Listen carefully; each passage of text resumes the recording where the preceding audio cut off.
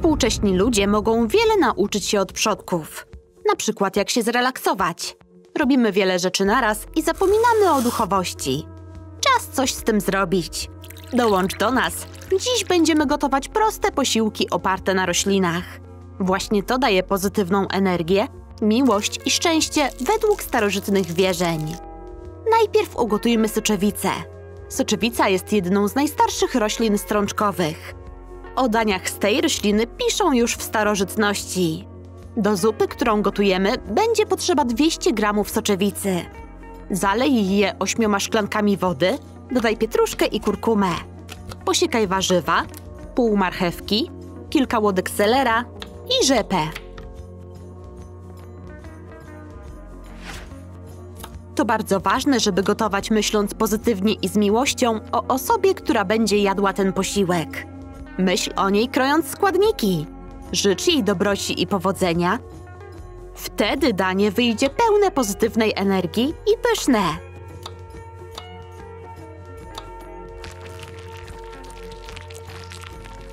Świeże warzywa i owoce mają bardzo pozytywną energię, dlatego potrzebujemy dwa duże pomidory.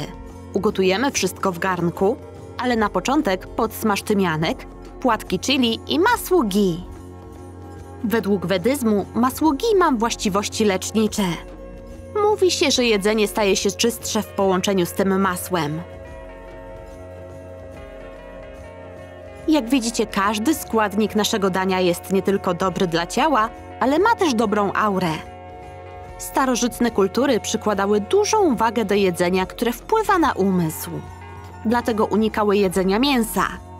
W Indiach zaczęli je jeść dopiero po przybyciu cudzoziemców w XVI wieku, a potem brytyjskich kolonistów. Połączenie soczewicy, warzyw i masła ghee pozytywnie wpłynie na Twój nastrój. Jedna porcja tej zupy poprawi Ci humor na cały dzień, szczególnie jak dodasz świeżej kolendry. Jeśli nie możesz od razu zrezygnować z mięsa, zrób to stopniowo.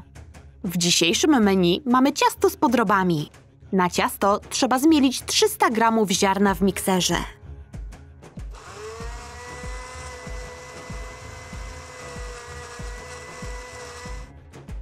Potem dodaj szklankę jogurtu do picia, oliwę, jajko i trochę soli. I znowu zmiksuj. Ziarno jest bezpośrednio połączone z powstawaniem pierwszych państw. Rośliny dające ziarno odgrywały bardzo ważną rolę w powstawaniu prawie wszystkich wczesnych cywilizacji. Było i nadal jest właściwie najważniejszym jedzeniem w diecie człowieka. Obecnie ziarna są uprawiane na wszystkich kontynentach naszej planety. Na światowym rynku pszenica, jęczmień, owies, kukurydza, ryż, gryka i groch są podstawowymi rodzajami.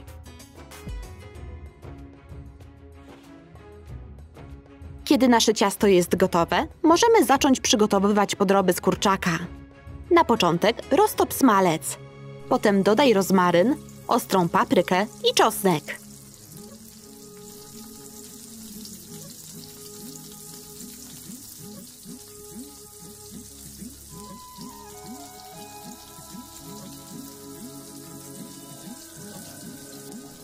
Uważa się, że przodkiem domowych kur były kury bankiwa zamieszkujące Azję. Kilka tysięcy lat przed naszą erą kury zostały udomowione w okolicach Indii. Niektórzy badacze mówią, że stało się to 2000 lat przed naszą erą. Inne źródła, że między 6000 a 8000 lat przed naszą erą. Przed smażeniem dodaj cebuli i posiekaj podroby na małe kawałki. Są pełne wartości odżywczych, które dobrze działają na Twoje ciało. Na przykład serca są bogate w witaminy A i B, których ludzkie ciało potrzebuje, żeby wspierać układ odpornościowy. Są też świetnym źródłem żelaza, potasu, fosforu i magnezu. Wątróbka zawiera dużo żelaza, dlatego jest polecana w czasie ciąży. Zaledwie 150 g wątróbki zawiera dzienną porcję kwasu foliowego.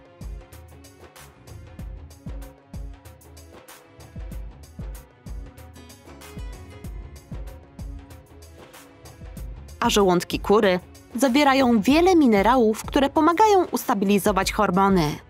stymulują trawienie, a nawet zapobiegają rozwijaniu się cukrzycy. Kiedy podroby są gotowe, połóż je na cieście i przykryj drugą połową ciasta. Piecz 30 minut w 180 stopniach. W tym czasie ciasto urośnie i zrobi się złoto-brązowe.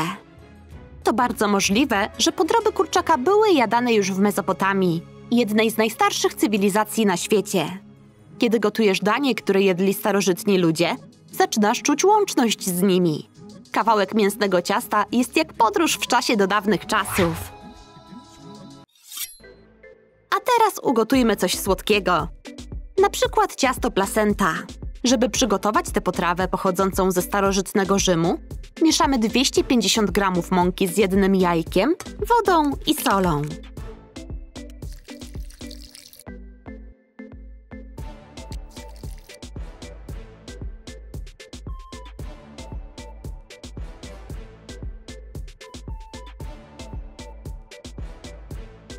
Naukowcy sugerują, że ten rzymski deser był podstawą do nowożytnego, niesłodkiego ciasta serowego tiropita. Nazwa placenta używana jest też do baklawy na greckiej wyspie Lesbos. Ten deser jest zrobiony z ciasta francuskiego z pokruszonymi orzechami i miodem. Innym rodzajem rzymskiego deseru jest ciasto placinta.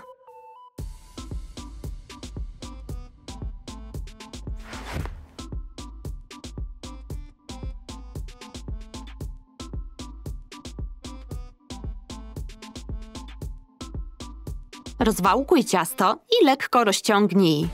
Potrzeba dwóch cienkich arkuszy.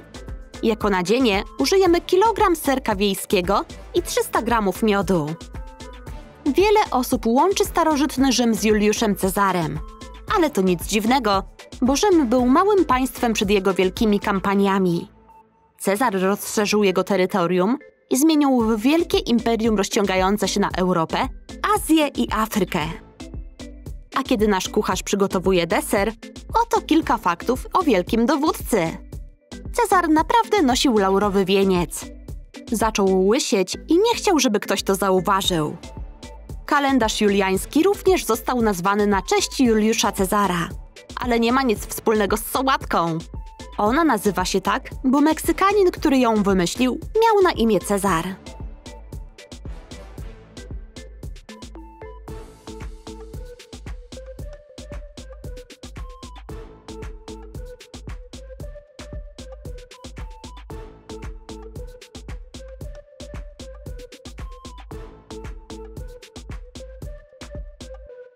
Zajmijmy się gotowaniem syropu. Weź szklankę cukru, szklankę wody i liść laurowy. Wybacz, Julek, potrzebujemy go.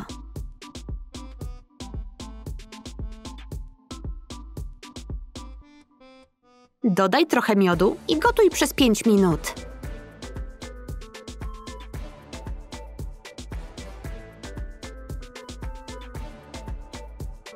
Wlej miksturę na ciasto i włóż do piekarnika, piecząc 45 minut w 180 stopniach.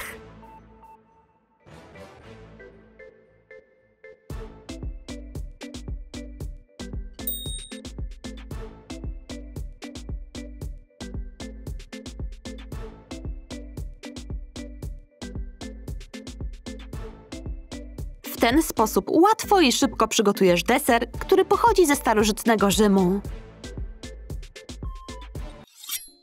Dynia symbol bogactwa i dobrobytu. Pewnie dlatego słodki ryż w dyni został tradycyjnym armeńskim daniem. Było podawane na weselach, żeby pokazać zamożność rodziny. Żeby ugotować pilaw, zalewamy suszone śliwki, brzoskwinie, daktyle, rodzynki i ryż wodą. Smażymy nerkowce, orzechy włoskie i migdały na suchej patelni.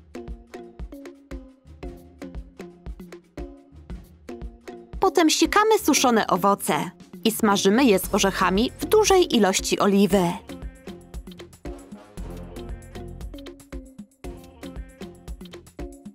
Lekko posypujemy sproszkowaną gałką muszkatołową i wlewamy trochę miodu.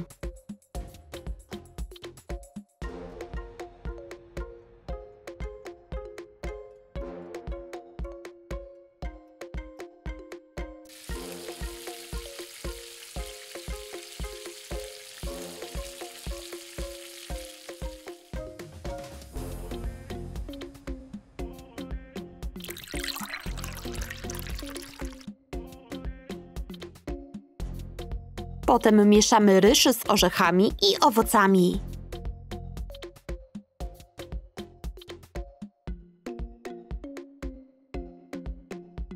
Posypujemy wnętrze dyni zielem angielskim i wypełniamy składnikami.